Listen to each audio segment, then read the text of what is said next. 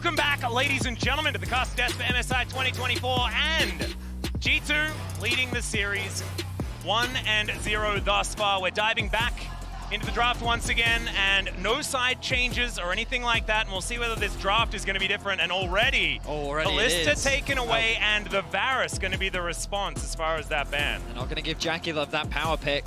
Remember that the Ashe was banned in the previous game along with the Rumble. One of those two is not going to make it through this draft. I'm also curious to see what happens with the Orianna Poppy, which one actually slips through the ban phase now. I'd imagine it's probably the Poppy, especially with the Kalista already taken off the board, but um, I think the Orianna for Caps has just been so good. I mean, Creme already was struggling against the Trist. I don't know what way you want to go, but they are. Okay, gonna let it through. They're fine giving Caps the, the Orianna. I Mickey think with a wry smile. I think Creme... Um, Remember, he still has the Ahri that he can always bring out as an answer potentially to the Poppy. But the Ashe is going to be banned, so the Rumble going to be left open. And it's oh, Jackie okay. Draven. That I is... mean, the audience erupts as they should do. The man, one of his signature champions. And it's against Hans Sama, who's what? also it's one of his oh, favorites as well. And comes down once again. What? We did see the Kog'Maw already, it but it was with awful. the Renata. That's yes. what I hated about yeah. it. I kind of like the idea of going back to I this mean, Braum that they have really enjoyed. Last year at Worlds is the last time we also saw yeah. this prior to this tournament, but this was something that they brought out domestically at times.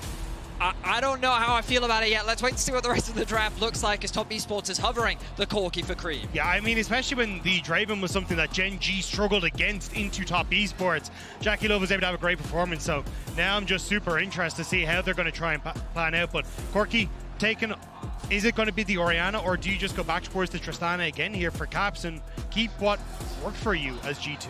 I actually kind of like the idea of going back towards the Tristana, but Nautilus going to be locked in alongside the Draven, something that uh, Meiko has been pretty good at in the past, or oh. We're considering something else. Of course, both Yike and Tien finding a fair bit of success with the Jarvan, and Jarvan will be locked in for Tien this time around. A different bit of a Demacian flavor in the jungle. I do think it's a good shout because the Kog'Maw are going to be quite immobile. If you can actually almost sacrifice yourself as the Jarvan in the later fights, prevent the Kog'Maw from getting in to the equation, it's going to work out pretty well for top esports. It's just a case of now, do you go for the Orianna and have double immobile carries, or do you go back towards the Tristana, which I think is the right call, just giving yourself some mobility so both of your carries can't be locked up. I mean, Ivern has to be banned, right? Yeah, I mean, because yeah. this is they have to choose a tree and ban it. yeah, um, that's what's going to have to happen yeah, here. I wonder right. whether the Lilia priority will still stay high here uh, for top esports as well, because that was their first ban uh, in the second round last time. Right, well, let's see what G2 choose to take away. Support still up. I don't think they have to be concerned about a Nautilus ban, given that they've got Braum. Exactly, yeah. Yeah. Rumble, I think, makes sense. They were already scared about it after game one. They banned it in the first rotation. This time they're moving it to the second. I'm wondering, is Renata something? There's the Ivern ban that we were talking about, but uh, Renata is a possibility. Uh, Rakan, maybe? Yeah, I don't think you're particularly worried about any support, to be honest. I think that's kind of the nice thing about Braum. Unless you're looking at like some sort of enchanter, but Draven with Lulu, enchanter yeah. doesn't really work. Draven so. Zyra sounds like it'd do all right. oh, that's an old school one. yeah. But that's I think you're in a pretty good spot here as G2, so I wouldn't be surprised to see top esports just continue. How crazy is it that every game uh, G2 somehow draw a new ban? You yeah. know, like yeah. it's like has Ivern like Ivern's ban percentage just shot up significantly just because it's now been played in a single game. But I think that's always the beauty of G2 at International is that they're willing to bring out these more abstract picks and make sure that they're able to work in different scenarios, and they will find ways to make them work. But what will work now for G2 I mean, it's is looking it like a Maokai, right? Maokai? I feel like, yeah. yeah. Your, your, engage is a little bit limited, but still, Maokai ultimate is really good. Your siege is still really strong. You've got scaling elements on your side. I mean, I like Corki Jarvan from the side of Top Esports. Maybe they want a little bit more dive. Let's see what direction they go with next. This is, of course, one of Yike's favorites oh. as well, the Rek'Sai to be locked in here. And not giving away too much as far as what this composition is going to look like in the end, but still waiting on Broken Blade's Sante. pick. Very surprised. surprised. Wow, yeah. Is this the seventh game uh, for 369 on K'Sante so far this tournament? I think it might be. Uh, definitely has been favoring him quite a lot. Uh, but the thing is, we've already seen BB has answers into it. Got the Camille, the twist, Twisted Fate was not picked up in the last one. You still have a lot of answers, and at the moment, Yike has the control that you want in the early stages with this Rek'Sai to be able to interrupt, to cause a lot of backline threats. So I think you're relatively happy here as G2 if you want to go for a Camille with the double dive or even just have a more kite back comp with these long range rapid fire cannon TF stuns to enable the fight for you. Does forgive my ignorance, but does uh, Renata ultimate get blocked by Braum E, or does it just go over it? I think it goes over us, as far as I know. Because I'm not sure. I'm not sure either. I mean, I hope we'll get to see the interaction. Um, but I, I, was wondering to myself, why wouldn't G2 want to ban the Renata? And maybe it's because they think against the shield wall it would be fine. But the Twisted Fate going to come out. So again, G2 going with a multi-carry, a threat uh, approach. Funnily enough, coming into this tournament, the team that I would associate this playstyle with was T1. They were the type of team that would yeah. always like draft multiple carry lanes, always have multiple threats on the map and multiple win conditions. And G2 taking a similar approach. The second game in a row that Broken Blade is being given a carry Last game he was a little isolated, but at the end of the game he had done the most damage in the whole game. He was a menace. And G2 are now once again going to have these side lane threat options. Tristana, a good split pusher. Twisted Fate, a good split pusher. They're front to back, I think, weaker than what we saw in the previous game. But uh, Top Esports, I think, with a lot more dive on their side. Again, with a very similar front-to-back approach, though. I do like the non-committal engage that you have drafted from G2 though, where you can play for long range rapid fire gold cards. You can try and fish for a little bit of damage coming through. And as a top esports, you have to kind of all in if you want to get the real value from your composition. So jumping into the Rek'Sai, jumping into the Braum is actually going to make things a little bit more difficult for top esports. A very different look in both of the sides of the draft going into game number two. We'll see whose adaptation is going to reign supreme. I think most of the uh, MSI audience here right now are looking at Jackie Loves Draven thinking that that might be the ticket to an even series. The G2, I do like the like the amount of enable Mickey that they have in this composition is absurd. And we know that Mickey is just going to go in as often as he can. Engage from, we hate it as uh, LCK commentators. We've seen it attempted many times, but I kind of don't mind the vibe. As here we are, onto the rift for game number two. Top Esports once again on the blue side. Now looking to change how this one's going to go. Creme looked great on the Corki in their series against Gen G. We'll see whether once again that is going to be the case. As already getting a bit of that first strike value. You can see the crowd naturally incredibly enthusiastic there are a lot of G2 supporters in this arena, by the way. Yeah. and we've had already, we were just chilling in the break and we had like a bunch of different fans coming up like G2 3-0. I was like, yep. not what I was expecting, no. but okay, cool. um, and uh, yeah, so the, the crowd is incredibly excited for all of the plays that are happening today. We're gearing up for a banger. I'm excited to see what Top Esports can do. Gen G found a way to handle Jackie Loves Draven. Hang on. Well, see whether this is going to be the answer. And I think running away from it is a good idea at this point in time as Mickey already down to 50%. Hans Sama has pressed W, but that's all he's really able to do. That is going to be a great trade to start things off here. And Top Esports feeling good about how that bottom lane has started.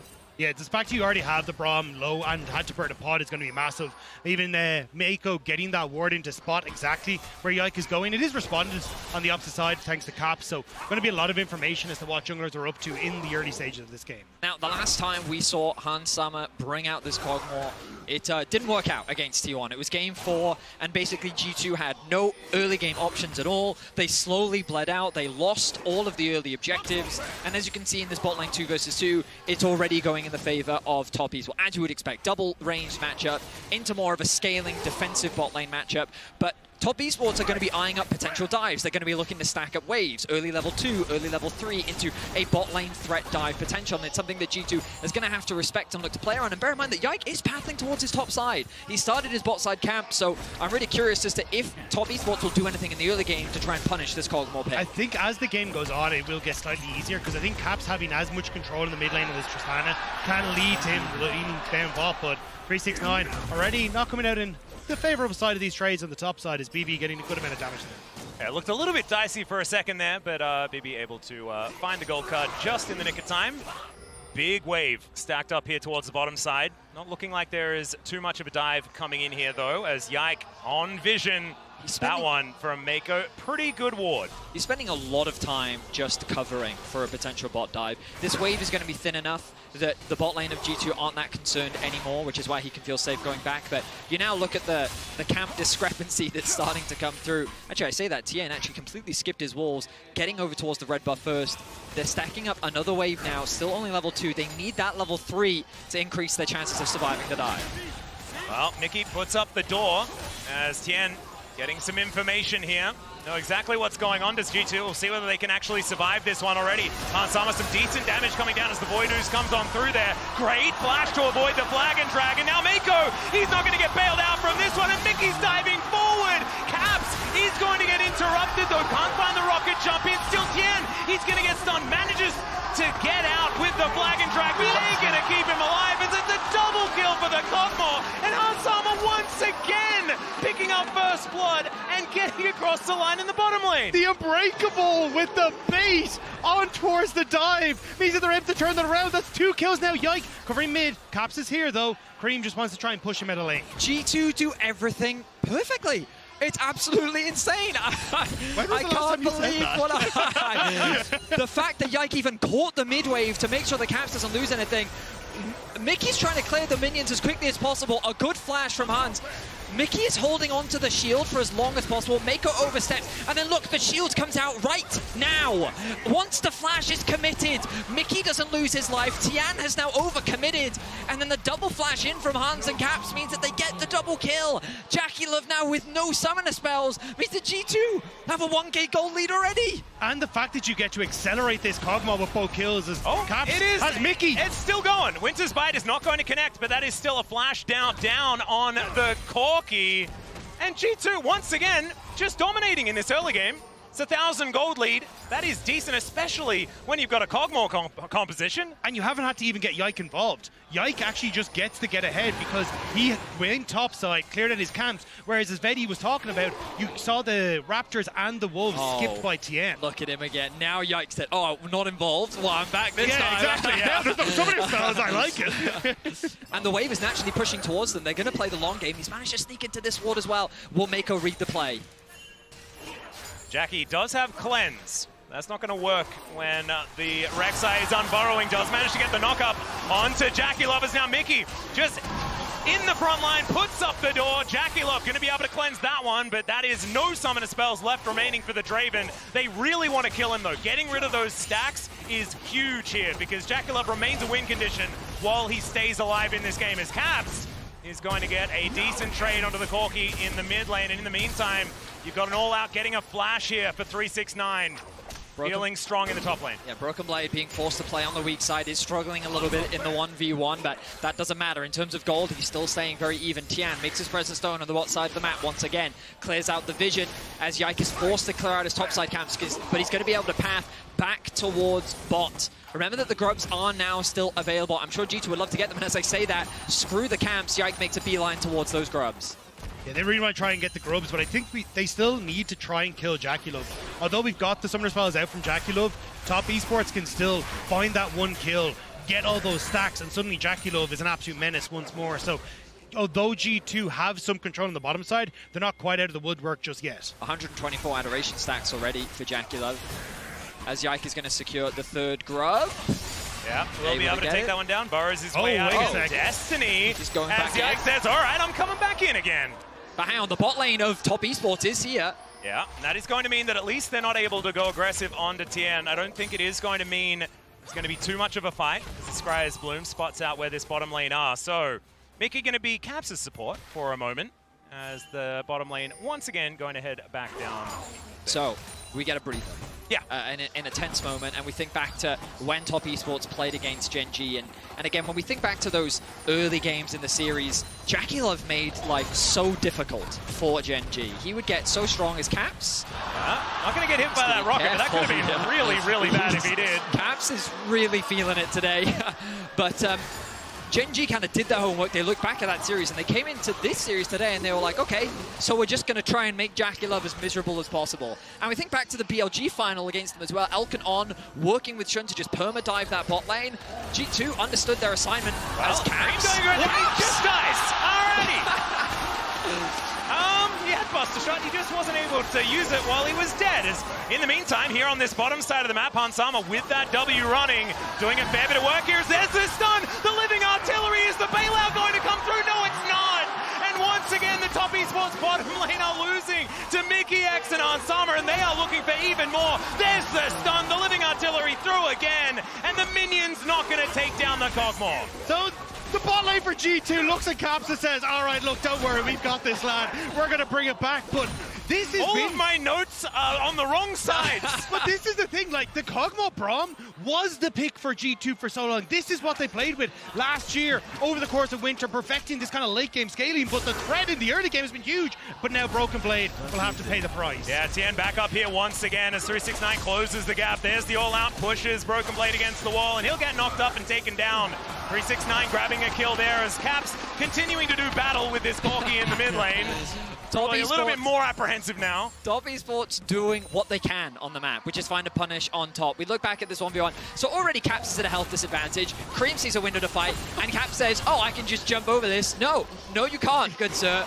But we look back at this bot lane 2 versus 2. Level 6 for Han Sama, and Mickey says, you know what, we can actually fight this. He mitigates so much of the damage with the shield. The heal comes out from Jackie Love. But because of that Q connecting from Mickey, my god, Mickey, Yeah. he received so much criticism in summer for his play, but he is having an incredible tournament. And against top esports, he is absolutely popping off. But it's been back to comfort for Mickey, right? You're like going towards picks that we wouldn't traditionally see the Poppy, the Leona, the Braum. Now making it work. I think it went in the kitchen and said, guys, I've been cooking. I think that's his comfort. That I think that's what is fair. meant. Yeah, his comfort is in the kitchen, and it's uh, it's looking absolutely fantastic. As okay, Golka going to connect onto 369 here on the top side. Has his Merc Treads, definitely uh, the big one into the Twisted Fate. It's Broken Blade continuing to have shove, of course. Uh, is uh, the Twisted Fate in this lane, so he's going to be feeling pretty happy as Mickey finds Meiko. Creme also here, but he really wants to kill this ward, and he will be able to do so. Handshake or no. nice iron shake from Meiko there. Um, Dragon's still yet to be taken, 10 minutes into the game. Very late, very delayed. Typically, we try and see these cross maps as a TP comes into top lane, but shouldn't really result in a huge amount. Oh, yikes. Ah, still going aggressive here as the gold card should be able to connect, but thankfully the flag and drag was already there for Tien. He makes it out. You see Caps has started to lean up towards top side, so that's why G2 were like, hang on a second, we can maybe make this work. Now Creme going to TP back into mid, so Caps, we just clear the wave, more than likely reset, and look for the uh, the TP back in himself, because if you give this much control towards Creme in the mid lane, I think Top Esports will immediately start to look at Dragon, although Jackie Love and Meiko going for a reset themselves. Again, we, we think of Creme as this assassin player, right? Uh, he's very well known for his Akali, of course. We've seen him have fantastic performances on the Ahri as well. But against Gen G, it was his Tristana and his Corki that won them Yeah. games. and so they wanted to have something a little bit more safe in this. Like I say, more safe than an Azir. It's probably a poor choice of words. But so far in this lane matchup, he is doing very well. The Grubs have been started off by top esports. They've brought their bot lane up to try and fight. Hans is also on his way, but I think G2 is going to be a little too late to the party. Yeah, Going to be slightly too late. Guinsoo's Rage Blade was picked up by Hans Sama, so G2 would love to try and start something, but not going to be the case. Instead, they push out mid and imagine we'll move over towards Dragon. Exactly, Dagda. I imagine the cross map will come through. Now, Creme with the package does mean that if Top Esports really want to, they can look to try and fight this. Tian looks like he's heading towards the Grom, so it would surprise me if they actually do. Instead, I think the safer play is to just secure that objective and uh, make the trade happen. Yeah, also a bit surprising that you get to use your package on the first dragon. Um, because this dragon took so, such a long time to actually uh, be taken down, and he will have that one available still. G2 with control of the bottom side river. See whether Creme can actually get in there and utilize the package to get something done. Yeah, there could be an argument to leave that package until the Rift Herald in two minutes' time, but just trying to keep it in sync with the Dragons is. Well, there is that package that we were talking about. Rocket Jump does get through it. There's the gate. Interrupted by Tien, and now Broken Blade. He's going to have to flash if he wants to make it out of this one. He does so, uses the Ghost as well. So he'll survive. Yike takes the Dragon, and there was something about to happen in the mid lane, but with the fact that that gate was not allowed, that is going to mean that Creme will be just fine. Top esports are putting a lot of resources into the top side of the map, and traditionally I'd be like, oh, well, K'Sante getting strong is going to do a lot, but when you're up against a Tristana and a Kog'Maw, this percentage health damage, especially from the Kog'Maw, is going to be really tough for this K'Sante to deal with. Well, more aggression here towards the bottom side of the map. Could be a dive opportunity as The Glacial Fissure does not find its mark. There's the flash knock-up, though, as JackeyLove flashes, get himself out of the way. The bailout comes on through, and he's not going to survive through it. Tien now having to flash, but it's not going to work out for him either, because he's just between a rock, a hard place, and then dead. Yike now under the turret, and it's a triple for Hanzo. 6-0-1 on the Kog'Maw. Creme, I don't think he's going to be able to do anything here, and this turret should be in the dust too. This is a Kog'Maw player's dream. You go up against a Draven and you somehow come out of lane two and a half thousand gold ahead of them. This this Kog'Maw's massive. How the hell do you stop him? And I remember, because I watched the last time Hans played this Kog'Maw, I was with Drakos, and he was like, no, just wait for two items. I don't have to wait for two items now. They're almost there. I'm gonna be really honest. I have this image in my head of Hans looking Jackie Love in the eye and saying, "Say LDR again." Look at the dive. The flash from Yike knocks up, and the chains you see on the Jackie Love. He tries to flash away, but the da damage is too good. A great ultimate from Meiko, but unfortunately they can't quite get the execute onto Mickey to allow for him to revive and turn the fight around. Caps is able to rotate over first. He then works with his team to secure the kill. He takes the tower aggro, and it's Hans Sama that cleans up with a triple. It's just great turret aggro. Yeah, the juggling was the incredible. Time. Uh, now you get to move caps up towards top side. It's Rift Tower to spawn. You have Hans Sama, as you already pointed out, nearly at two items. G2 just get to move over and take that. And this is where I was saying, like Creme maybe could have kept the uh, the package for this Rift Tower fight, but without that package. And JackeyLove being 0-2, it doesn't really feel like you have a, a real threat when you go over towards this Rift Herald. It could have almost been worth uh, to actually try and put some pressure on the Dragon as well, given the fact that it was so incredibly late. You can then play around it, but wasn't something they opted into. Tien actually moving towards the top side instead. So maybe miscommunication, something like that, just not quite finding what they needed to. Is now Broken Blade with no flash. I think should be going down here as 269 gets over the Cataclysm wall. And there it is. So the Twisted Fate down once again. They'll trade it for a Rift Herald though, and maybe some more here towards the top side. Glacial Fissure going to be avoided nicely with the Valkyrie from Creme, who does still have to flash to get himself out of the way. Mickey in a bit of trouble now as Yike from the side. This one's a dicey dive, though, if they do want to go for it, and I don't think they will. I mean, Top Esports is trying to get what they can on the cross map. They're able to push out bot. TP is available onto 369. He is going to invest it into top lane. And now G2 have to respect... Oh, no, actually, it's Creme. My apologies. Just immediately coming back after getting that health bar But- back up and available. Ultimately, like, Top Esports recognize that there's nothing they can do bot, so they're trying their best to shut Broken Blade down. They really have done a great job. 369 in the laning phase has been outperforming Broken Blade so far in this series. While Broken Blade could bounce back in the previous game, his passive is not enough in this game to be able to close that gold gap. And it comes back to the question of how big of a problem will this K'Sante be? I would argue that K'Sante, as difficult of a champion it's been so far at MSI, against a good dog, I, I don't know. I kind of. I, Is K'Sante two and a half thousand gold worth of a problem as Atlantic Massacre? I mean, also Hans Sama is the goodest of dogs right He now. is very I- good. He's a good boy. He's doing a great job. If only he was actually playing Pug'Maw. It doesn't matter. I'm going to give him treats anyway. We had Corgi Corki. We could have had Corgi Corki and oh, Pug'Maw. we it could have. the best. the lore is ruined. Dragon. Instead, he needs to go base skin Kog'Maw. The champion seconds. with some of the best skins in the game. All right, well, Meiko could be in trouble here. Winter's Bite going to connect, puts up the door. There's the stun. And look at these 80 carries. They just wail on him. And Meiko did not stand a chance. I now the Rift Herald comes down to the mid lane. That should be this turret going down as well. And G2's lead is only going to further extend as Top Esports. I think they'll be lucky to defend their inner turret here off the back of this one as Mikyx. He wants even more. Not going to find the Glacial Fissure once again, though, as Yike will be interrupted. Still, they're not going to go for a re-engage, missing their support. Yeah, I do love the immediate just sorry coming through from Guy because Yeah. the, the rift out disappears and he feels significantly less threatening. But overall, I mean, G2 they get the mid lane tower. Yes, you get a push for 369 on the bottom side, but I don't think it really matters. The only thing is G2 maybe looking for a reset for Blade of the Ruined King coming through for the Kog'Maw right before they start to go towards Dragon. 1.8k gold in his back pocket, Yeah, uh, and he's going to buy a blade. So Blade of the Ruined King and Guinsoo's both completed here at 17 minutes. That's uh, that's a pretty quick uh, two-item spike to come in for the Kog'Maw. Not going to be able to get the Drake though, because he was back in the shop with Boris. And so the Ocean Drake will be secured. It's a Mountain Soul this game as well. And if Top Esports can take some control back, I'm looking at K'Sante and I'm thinking if there are three Mountain Drakes as well, I don't think the 369 will ever die. I don't know if we're going to get to that stage though, because with the way that it's positioned now, G2, you're basically moving Mickey back and forth between mid and bot to make sure this package doesn't get value, and it won't. Well, it is going to be used underneath this turret as Destiny comes on forward. Creme is really dead, guys. Super duper dead. And I think it's desperation oh, from top no, and there's the old forward as well from Yike.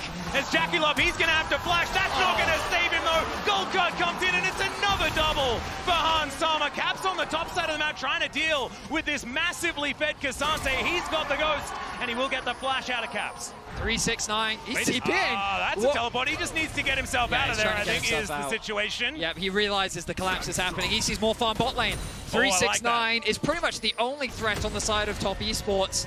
As G2 punish what was a huge mistake from Creme. He sees that the pack is about to run out. I don't even think he wanted to commit. I think he just wanted to chip down onto Hansama's HP, and he did not respect Broken Blade's collapse enough as he ends up losing his life. And that's why I love the way that Mickey played that setup on the bottom side. I was trying to highlight. Mickey leans into bot to make sure BB can clear out the wave, so that then if this package gets used in mid, you can bring Broken Blade across. And it's G2 protecting both sides of the map, and then immediately been able to pick off Creme. As he, it just was desperation. He wanted to get some value from his package, especially since he used it twice already. But it only leads to two more kills going the way of this Kog'Maw. And Yeah. more adoration stacks just lying in the dirt. It's 0-3-0 for JackeyLove on his Draven. It's just not working out here as Top Esports just standing there in a bit of a triangle. It confused me a lot. I mean, I, I, I will say that if anyone claims that they expected Hans and Mickey to be bodying this bot lane, they would be a liar. Yeah. Um, they have, uh, Hans, Summer, and Mickey have, have pleasantly surprised many with how they've been playing this two versus two.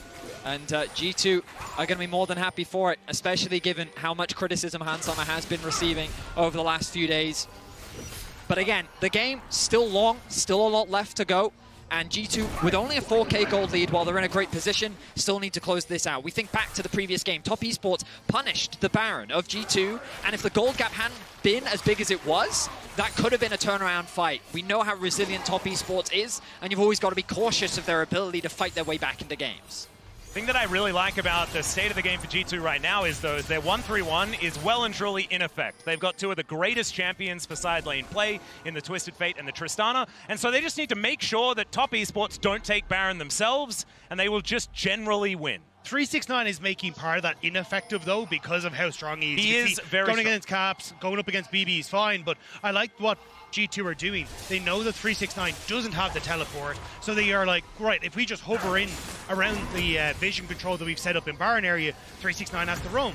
Great, that opens up Caps to now pushing on the bottom side. So I feel Top Esports may actually just start up this Baron to try and get Caps to join them in this area. Well, Caps already moving towards that mid lane as we could see, but no, decides against it. He's going to try and take down this outer turret, continue the pressure for G2 as JackeyLove will push this wave into the outer turret in mid. Finally, a Glacial Fissure is going to land onto JackeyLove, and there are the stacks. Yike comes in, finds the Prey Seeker, and there is the ulti to finish it off. And JackeyLove can't catch a break this game. Misstep after misstep from Top Esports. Overextensions in G2 is incredibly quick to punish. Also, does Mickey have a homing beacon on this queue? Because this man does not miss. I was going to say, I didn't know Braum was an engaged champion. This guy Well, is just not. finding it Yeah. consistent. I, I really hope that Kerry isn't watching this. He's not an engaged champion, okay? As Top Esports now looking to try and stop this Baron, but it's going down so incredibly fast. G2 looking for the turn. Destiny does come on through as there is Mickey taking down 369. The biggest threat on the team is Tien. I'm not sure about that Cataclysm, but he wants to try and deny a Baron. He takes forever to go down, but he will be taken out in the end. The Baron secured. The Whirling Death does absolutely G2 will not be stopped. Even Creme is trying to get into the middle of the Baron pit to steal away something, but G2, they're cool, they're calm, they're collected. The dog is spitting all over Top Esports, and there's nothing that they can do about it. Game two in a series against Top Esports, and G2 are dominating in clean fashion. An expectation that is being defied. Jackie Love, he can't kill that last minion in time. And Mickey, that's all he needs. That is the bridge for his engage. Yike says, you know what, Hans, you've got enough. I'll take this one. Let's balance the scores out a little bit as it sets up for the Baron. 10-0-4 on this Kog'Maw. Um, and I've always thought of Kog'Maw as one of those more scaling champions that does a lot of damage in the late game. Apparently, that's not how it is. Uh, you just kind of slaughter everyone all the time. And 2-0-12 for Mickey, 100% kill participation for this bot lane. An incredible glow up from Battle this series. You know what's going well when your support has the same amount of items as your mid laner. You know, that's when you know the game is in a great spot. Uh, it's it's crazy. I am dumbfounded right now at the level of play we're seeing from G2. And it's a completely different draft. Outside of the Tristana, it's a completely different draft from what we saw in game number one. But it's this still very similar shellacking coming on through here as they're now pushing on this inhibitor turret towards the bottom side. Creme trying to do what he can. The Glacial Fissure goes wide. They do try and get themselves out of there. That is a turret going down on the top side, but it means the K'Sante isn't here. The most important member of this team. He's now going to have to look for a back angle to try and save this inhibitor, but it's not going to work out. This is definitely dead, but can G2 get more? Is the question. Mid lane inhibitor turret has been set up as the flash forward from Mikyx once again gets the package onto JackeyLove. He blocks the whirling death as well, and now G2 are looking to get themselves out. They'll burrow, they'll rocket jump, and they'll be just fine. As Tian looking for his opportunity. Let's see whether he can find at least a target to try and focus on, but Creme's already down to 50%. The Buster shot, too good from Caps. The oh! has been placed. Massive damage to come out here, and the Kog'Maw is spitting mad onto top esports. This might just be it. Jackie JackeyLove just explodes, and Mikyx, he's immortal. Five alive for G2, five dead on the side of top esports. Just like that, 24 minutes, 30 seconds, G2 will wipe out top esports. What was that? What an incredible team fight from G2. 12-0-7. If there's ever a way to silence the doubters, Hans Sama, that is the best way you can do it. Utter domination from G2 in game two. And as long as they don't get complacent, I, I mean, I know as a, as a member of a different region, um, you can go up 2-0 against top esports and still have to be a little bit worried. I think if G2 continue to play like this, it's a three, three zero. what? I mean, I, I'm, I'm just as surprised as you are. Uh, a four-man knockup from Yike to round things out. It feels like the only player struggling today is Broken Blade, but even then, it's not really amounting into much. He comes back into the later team fight, still finds value. So impressive stuff from G2. Can they close things out as they bring us the match point? So we'll have to find out. But if you're nostalgic for Heartsteel and New Jeans from Worlds 2023, uh, check out Grind to Glory, a short behind-the-scenes documentary on how the 2023 Worlds opening ceremony presented by MasterCard was brought to life. It's actually fantastic. I definitely highly recommend it. You can scan the QR code on screen or head over to LOL Esports at their YouTube page. Now it is time to throw it over to the analyst desk to break that one down. Sjokz? Afia? Afia? Are we? Hello? we're, not. We're, not. Okay. Uh, let, us get started, shall we? Yeah, we don't so, want to jinx anything. 2-0. Yeah, it is G2. 2-0. And honestly, for me, so much of this G2 run is impressive to me with their drafting. Because we've had so many conversations like how how will they ever overcome the raw number of players, the amount of competition the LPL and LCK has, and they have so many picks that they've won with that nobody else is winning with. And that's what I like here is that not only they play the meta pick, and especially the bot lane meta pick that suits them so well, the Kalista driver and everything like this, but they're also staying creative here. And it feels like TES got caught off guard here. Twice in a row. And the big thing here for me is that they very clearly expected the Varus, right? So they immediately have the Ivern response ready. They have the Leon in already. game one. In game one. And then the follow-up here, you know Jackie is going to love Draven if it's not banned. And immediately the Kog'Maw follows. And let's uh, talk about how that bot lane went. Every second counts, and it, it definitely counts thanks to the reliable Cisco network when you're just a little bit too late to the play in that bot lane. Absolutely. I mean, the fact that the early dives failed, here G2 decides to make a dive work of their own. They already have the Rage Blade on the Kog'Maw, and just watch the way they manage the turret aggro. They never let Jackie get any of his cash-ins this entire game. There is also a little bit of story here for everyone. There is Yike being at the right place at the right time. There's Caps already ahead on the roam, and there is the lead that Hans and Mikyx were able to get right from the get-go. And you can feel like they've been doing their homework well because when you think of G2 in the early game in the previous series they played, they needed to adjust, especially coming into TS's bot lane because do you know this is when they're going to be aggressive. A couple misplays on the TS side, but I do feel like the way G2 approached the early game here with the over aggression has been phenomenal for them. It has been, um, and that bot lane has been all we have talked about and all we have been watching, and I think that is all the more impressive when we look at what we talked about after the T1 series. And I would go further. I'd say after the NRG series at Worlds, because there were so many people that wanted Hans, to me, when I was reading, off the team. There were people that says, blow this G2 up. It's been too long. They're not going to run it back. But they have believed in themselves this entire time. Though. They trusted the players. They trusted the orgs to build on what has been a two-year process for this team, just readjusting how they approach international events. And it has come through being confident and displaying this confidence today. I don't want to say anything for the next game, but it's looking great so far. Yeah, I mean, we can only judge the games that we have seen, right? Mm-hmm. And that we can. But you're right, we also have to be realistic. Top Esports is still a world-class team that has played many, many best of fives in their lives. So uh, where does it start for Top Esports? And for a lot of the LEC fans, they'll remember the reverse sweep that Top was able to find. But it's important to remember that this TS roster, or rather TS as an org, and specifically Tian and JackeyLove were also part of, say, that 2022 TES roster that was unable to make it out of a group because they lost to GAM Esports, right? There are, I think for this org specifically, a lot of moments where it felt like they couldn't really step up the way it was expected of them. And if they end up losing here, it will be yet another example. There's so many props. Do we want to use any? We've or? got a lot. Hans Sama's been crushing it. Yes. JackeyLove needs to step up. Yike Rek'Sai, uh, big for me. 369 needs to roll. That's another three. Nope. Uh, nope. A nine. yeah. And honestly, there is so much anxiety in the air. There's stress. I actually feel it. It's so strong on right either now. side. Because there have been reverse sweeps in the four. You don't want to believe it. If you base it on these two games, G2's been worlds better than TES. Yes, but uh, we have to go to break. Okay. I'm not Take touching us this away. one. Next way. No, Jen, Okay, I'll, you I'll, do the I'll honors. You the do the honors. We'll, we'll let them, we'll Did relax. start with two G2 wins. We don't know what's going to happen next. Make sure you tune in for Game 3 to see if G2 can complete the sweep or if TES can get the reverse.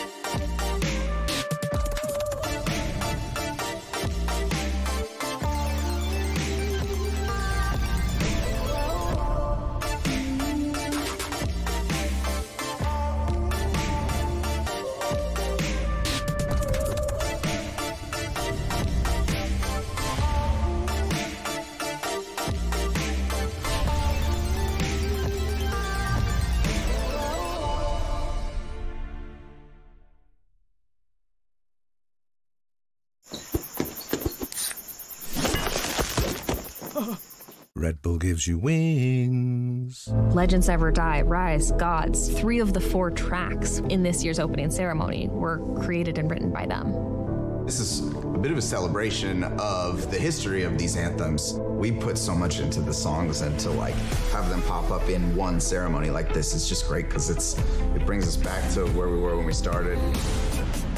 This is probably one of the sickest things I've ever seen.